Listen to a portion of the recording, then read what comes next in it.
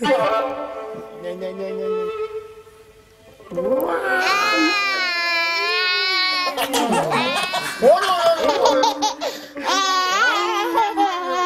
おはよううんできるだけなんて言うんだろうな子供のなんて言うんだろうな子供がもうちょっとこう大きくなってきた時にこうかっこいいな親父はかっこいいなっていう思えるような親父になれるように日々まあ頑張っていいこうと思ってますけど。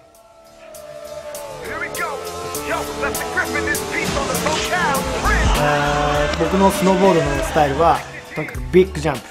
プ。ビッグジャンプ。スノーボードの一番の魅力はジャンプですね。空中に長く入れる時がすごく楽しくて空中に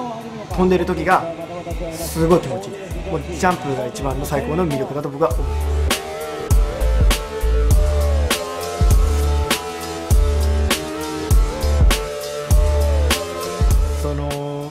高く飛べば高く飛んだだけ空中で空中のピークで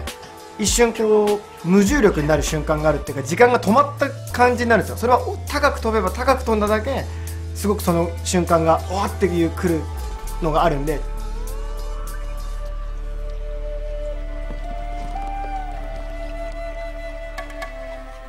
うん今はやっぱり家族ができて家族のためにうん自分がスノーボードを頑張れてますけど家族でハッピーな時が自分が一番嬉しい時ですね。奥さんだったり子供のが嬉しい時が一番嬉しいです。2週間ぐらい家族と離れることが1ヶ月ぐらい家族と離れることがあります。最大長くて。とやっぱり彼がそうやって仕事であの大会とかに行ってくのはもう仕事だからしょうがないっていうのは分かってるんですけどやっぱり留守にするのはやっぱり寂しいなっていつも思っています。じゃあねまだバイバイ。あでも持ってるっていっぱいだから。バ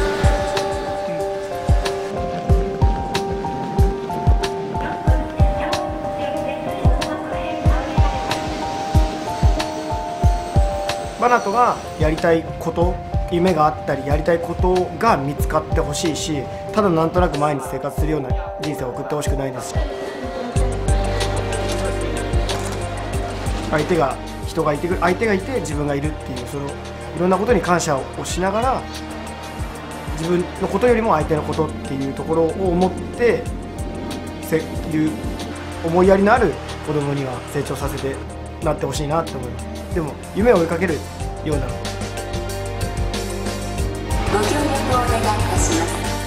やっぱり離れてる間にカナが一人でマナトを見なきゃいけないんでそこにこう負担をかけさせてしまってるっていうところですごく申し訳ないっていうか気持ちにはなってしまうんですけどでも彼彼女がやっぱりしっかりしてるんでその分頼りにもなるんですけど頑張らなければいけないなっていう強く思いますよね。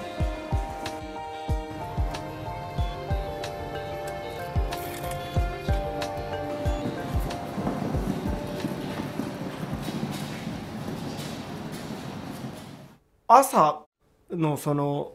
目覚め方っていうのが全然自分は違うんですけどやっぱり夜寝る前とかこう飲んだりした時に朝の目覚め方が違ったりして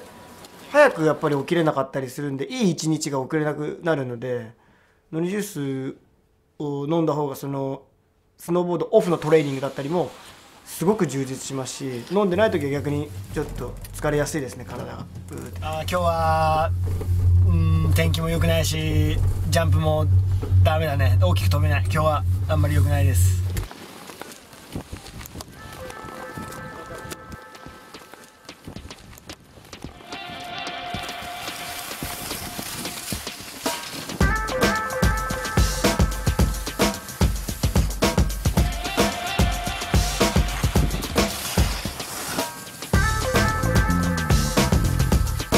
とはその同じ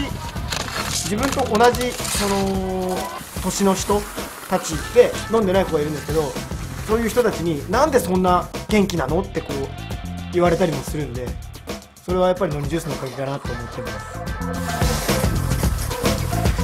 今はやっぱり家族ができて子供ができたんでその自分のスノーボードを頑張るということよりもいかに子供に何をしてあげられるかっていうところがすごく僕の中では大きいのでその分やっぱり家族のためにっていうのでよしっていうこうスノーボードに対する気持ちもまあ入るんで。